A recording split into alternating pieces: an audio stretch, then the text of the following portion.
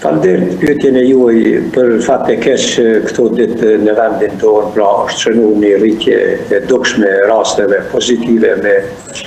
virusin COVID-19 ose koronavirusin.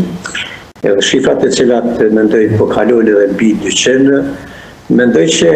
kjo paraqitje tash Kjo po ndodh tash e tri javë, por mhm. ditët e fundit kjo frekvencë është në rritje dhe unë mendoj se kjo është një fillim, një fillim i një vale të re të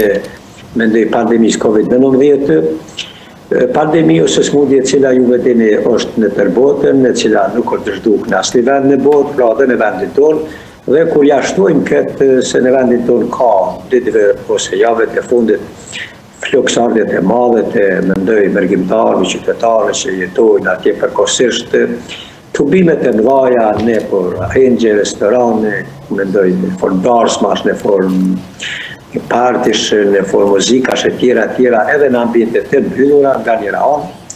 Pra unë atëherë ju e dini për dëgjosit, për shikuesit tuj në vendin tonë nuk është shënu një të quajtur imunitet kolektiv vaksinal ose postvaksinal me tri dozat e vaksinës dhe as me dozën me dy doza. Ne në vendin tonë kemi dikun vetëm mbi 103.000 qytetarë të Kosovës të cilët kanë marrë një dozë të tretë ose dozën e tretë të vaksinës që mund të themi se mund të jenë paksa të sigurt ose Shumë më të sigurt, kurse me dy doza të një vaksine dhe me një dozë të vaksinës anti-Covid, ne gjithmonë kemi thanë edhe ekspertët e fushës së mjekësisë nuk e ndalon që mendoj mm, rastet të mos ri përsëriten që pandemia mos të shfaqet edhe tek përsëri edhe tek personi që ka kalu